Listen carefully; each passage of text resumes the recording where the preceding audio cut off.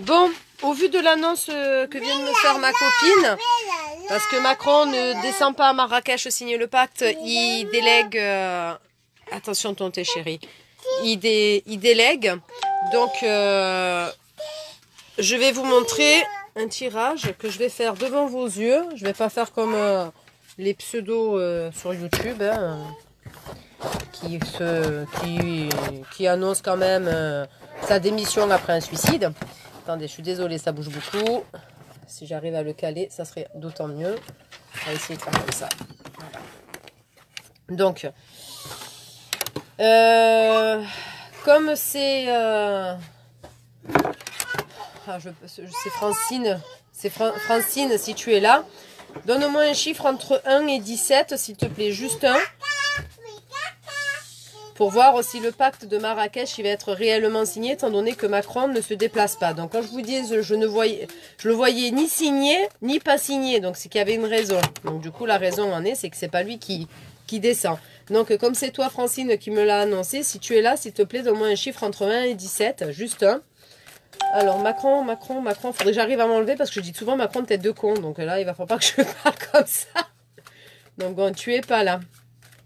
Bon, ben la première qui m'écrit un chiffre entre 1 et 17, ça sera le bon. Allez, j'en veux un. Un chiffre entre 1 et 17. La première qui me l'écrit ou le premier qui me l'écrit.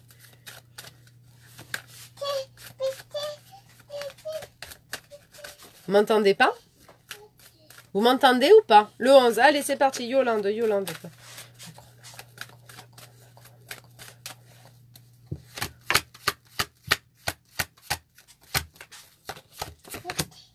Il signe. Même son sous-fifre, il signe. Je suis désolée. Voilà. Au moins, c'est fait devant vos yeux. Ça sera quand même signé. Non, maman. Voilà. Donc, euh, non, pas là, chérie. On le met là, sinon ça va renverser. Donc, je suis désolée. Donc, est-ce que, qu'est-ce que ça va donner par la suite par rapport à ce traité? Est-ce qu'on va arriver derrière à le dissoudre une fois qu'on aura passé cette crise?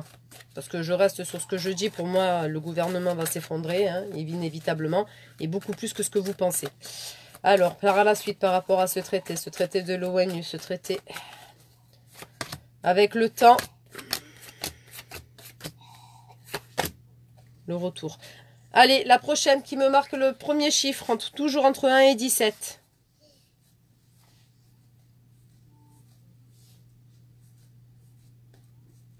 Allez, un chiffre entre 1 et 17. Oui, je suis désolée, zut, zut, comme vous dites.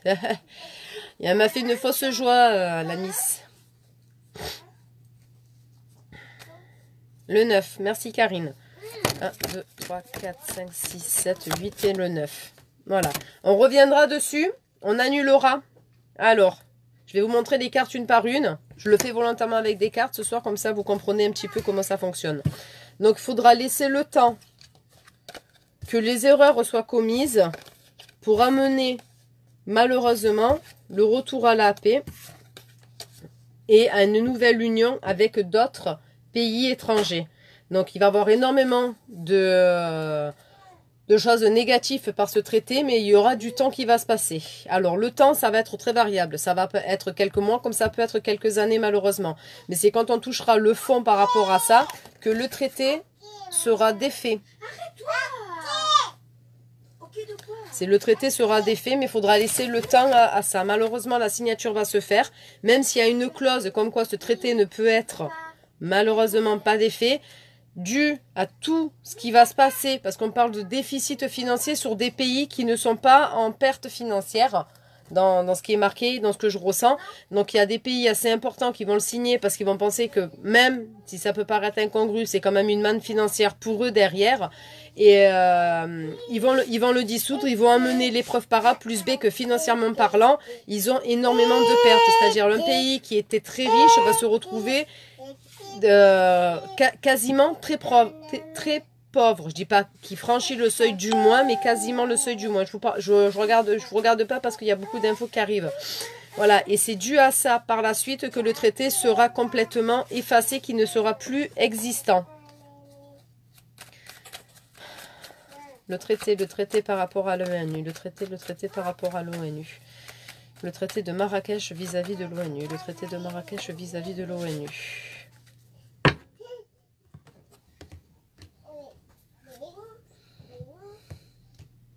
C'est une duperie. Je vous le dis de suite. Hein. La situation sera compromise. Donc voilà, vous n'allez pas les comprendre. Je suis désolée, vous ne comprendrez pas ces cartes-là. Donc il parle de, de duperie, de situation compromise. Il faut savoir que les deux côte à côte, ça veut dire que ce qu'ils vont signer, c'est complètement caduque par la suite. Voilà, ce sera vraiment, euh, ça va tomber à l'eau. 1, 2, 3, 4, 4, 13, 13, 13, 13. Donc peut-être dans 13 mois, peut-être on va subir ça pendant un an.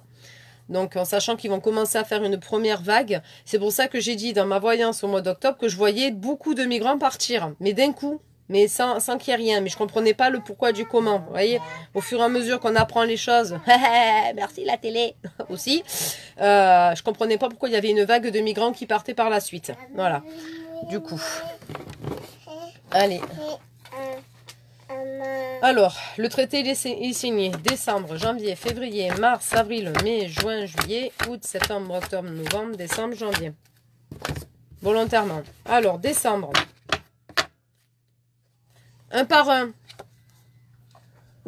On est vraiment dans la souffrance. Donc, c'est la carte de la mort. C'est la, voilà, la carte où on va se sentir complètement dépassé, isolé, perdu dans la situation. Il n'y a pas de mort réellement. L'avenir s'écrira demain. C'est un carrefour pour, pour, pour que nous prenons. Bise, exactement. Ça va être un gros carrefour. Euh, Sébastien.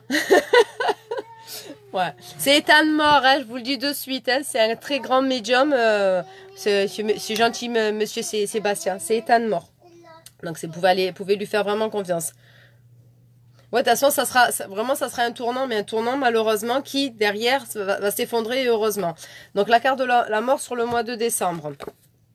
Là, par contre, ça va, lui tirer dans les pattes sur le mois de janvier de plus en plus.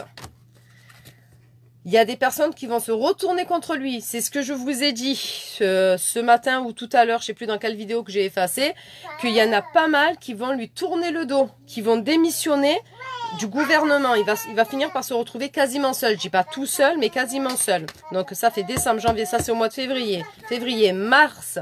Mars, c'est là où il va, on va commencer à, lui poser la question ouvertement et de plus en plus de politiciens qui n'étaient pas d'accord pour la destitution présidentielle, ils vont lui demander l'imposer. Donc quand il y a des personnes qui me disent que c'est pas possible, qu'il faut une majorité de députés, je vous garantis qu'il y a la quasi-totalité des députés qui vont lui demander de partir. Le chariot, le chariot, donc euh, décembre, janvier, février, mars, avril. Le chariot, c'est qu'il est, est en train de réfléchir sur le mois d'avril à partir. Avril, mai, mai, il s'en va. Mai, il s'en va. Alors, elle est jolie, cette carte. Hein elle est belle. Mais j'ai envie de vous dire, elle n'est pas belle dans, le sens où ça touche toujours la maladie. Et ça restera sur la maladie. Donc même si vous voulez pas la lâcher, il sera obligé de lâcher la, la, présidence. L'aveuglement, c'est-à-dire que là, on va, on va devoir trouver dans la rapidité réellement derrière et très très très rapidement ce qu'on appelle un président de remplacement. Et non, ce ne sera pas le président du Sénat parce que le Sénat n'existera quasiment plus, ne quasiment pas. La perte. La perte, ça veut dire que malheureusement, mais ça veut dire ce que ça veut dire. Je me, permets d'écrire au-dessus de mes cartes parce que sur mes cartes, les personnes n'y touchent.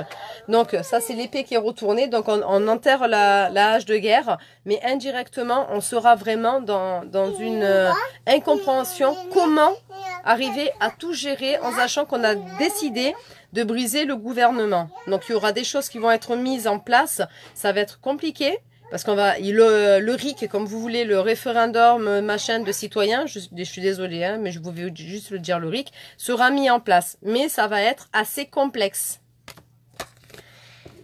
Toutes les personnes en politique, à l'heure actuelle, et antérieures, et je le chiffre 15, j'ai envie de vous dire sur les 15 dernières années, en sachant que quand je donne des chiffres, ça peut être 15 jours, 15 semaines, 15 mois, 15 ans, mais là on me montre 15, mais quelque chose de loin. Parce qu'on me dit 15 ans adolescent. Donc pour moi c'est 15 ans en arrière ou quand moi j'avais 15 ans, jusqu'à mes 15 ans, j'en sais rien.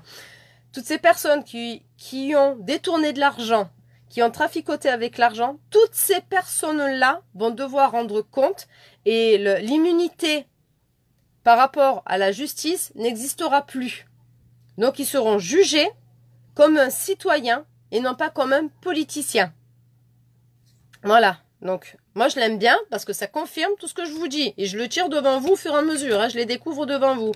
La papesse, la solution est trouvée. On a un nouveau gouvernement qui arrive.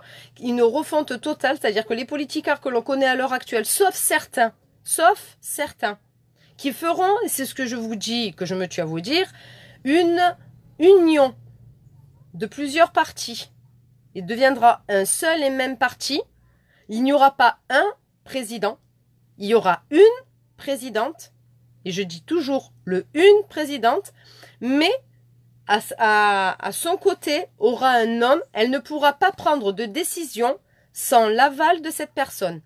C'est pas comme Macron à l'heure actuelle qui fait un peu ce qu'il a envie, hein, comme Hollande, comme Sarko, comme Chirac et comme euh, Mitterrand, tout ça. C'est pas une personne, c'est ça sera une union. Donc une à trois personnes obligatoires pour pouvoir avancer. Le diable, on va partir de l'Europe. On se détache totalement. Les liens sont défaits par rapport aux autres pays, qu'ils soient plus riches ou plus pauvres. On va partir de l'Europe. L'Europe se défait, l'Europe se désunit. Les frontières indirectes et pas, pas, pas réelles mais virtuelles vont être remontées.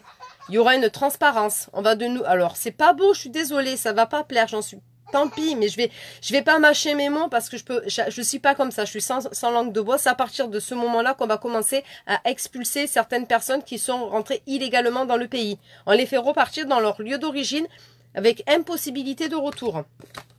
Le magicien, on retrouve un équilibre sur l'automne, dans tout, que ça soit financier, que ça soit professionnel, dans tout. Et bizarrement, il y a de l'argent dans, dans les porte-monnaies de tout le monde. Il y a des choses qui vont sauter il y a, un pouvoir d'achat qui est assez important parce que des taxes vont tomber. Je sais pas si tu me rejoins dans tout, s'il te plaît, Ethan. Mais là, il y a tout qui sort, mais de lucide, hein, franchement tranquille. Le monde, on sera revu comme nous étions vus il y a très longtemps au niveau de la France, c'est-à-dire que nous... Alors, c'est très orgueilleux, hein je suis désolée, mais comme le symbole de la liberté retrouvée à travers le monde. On va arriver à montrer au monde entier que malgré qu'on s'est fait écraser, qu'on s'est fait humilier, qu'on s'est fait lyncher et critiquer, on va reprendre vraiment une valeur importante et une richesse, une richesse au niveau des pays ailleurs. Et là, rentre en, rentre en ligne de compte les États-Unis. Un truc de fou. Et là, c'est les États-Unis.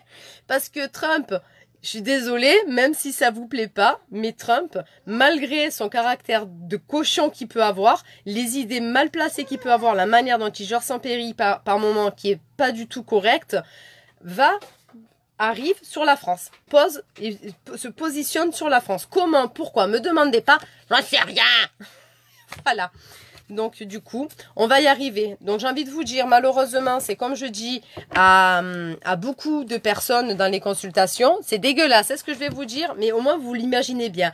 Vous avez une écharde dans le doigt, vous avez du pu, vous êtes obligé de l'éclater, vous faire mal, ça gicle, ça pue, c'est dégueulasse, ça vous fait mal, vous enlevez l'écharde, le lendemain vous n'avez plus rien. Et là, c'est ce qu'on est en train de passer malheureusement dans ce cas-là. Dans tout le peuple français va réinventer la démocratie et va casser les codes en montrant une autre voie, c'est possible. Tu vois Mais même ne le confirme. Donc, en sachant que ça, c'est le tarot de Marseille, je m'en sers pas. Hein. Là, c'est vraiment pour vous que je m'en sers, pour que parce que je sais que vous êtes beaucoup et nombreux à comprendre les cartes par rapport à ça, et au moins vous arrivez à voir la, suite logique des choses. Donc là, je vous les ai vraiment fait sur un an. Une carte, vous avez vu, j'ai compté, j'ai compté 13 mois volontairement. Donc oui, malheureusement, il va le signer, mais ne vous affolez pas. Ne vous affolez pas, ne prenez pas peur. Je comprends mieux pourquoi hier je ne voyais pas quand on me posait la question est-ce qu'il le signe que j'ai dit j'ai pas la réponse. Voilà, c'est parce que c'est pas lui qui le signe. C'est un sous-fifre. Donc vous affolez pas, malheureusement, il va être signé, mais même si il y a un paragraphe, un paragraphe comme ça où il dit on peut pas le dissoudre, il y a un pays qui va partir, qui est très riche, qui va se retrouver quasiment pauvre en peu de temps, en quelques mois, et c'est avec, malheureusement à cause de ce pays, je vais dire malheureusement parce qu'ils n'auront pas cherché à être comme ça, que ce traité va être cassé, que ce traité va être caduque, parce qu'il y a une fausse donne quelque part. Donc voilà. Donc, sur ce, je vous laisse. Allez regarder la jolie vidéo de la voyante qui est sur YouTube, qui annonce quand même, après le suicide de Macron, il démissionne. Moi, je dis, c'est génial. Voilà. voilà, le tueur, a, le tueur a suicidé le suicidaire. Voilà, elle veut ça, ma fille, elle veut les livres. Voilà. Ma fille, regardez, deux ans et demi, ce qu'elle apprend, les pierres. Pas beau ça On a le relève. Voilà. Pourquoi, pour, pourquoi Macron ne va pas au Maroc Au Macron, non, au Maroc? J'en sais rien, ma fille. C'est ma copine qui me l'a appris, qui n'allait pas signer. J'ai dit, super, me fais pas une fausse joie, me fais pas boire du champagne pour rien. Elle m'a dit, non, c'est pas lui, c'est un autre. Et je fais, là, je me suis décomposée. Comme ça. La face en biais. Du coup, je vous fais des gros bisous. À tous. Je suis désolée, des bonnes et des mauvaises nouvelles. Hein. Malheureusement, on ne peut pas dire que des bonnes nouvelles dans la voyance, parce que dans ce cas-là, ça s'appelle pas de la voyance, ça s'appelle de la complaisance.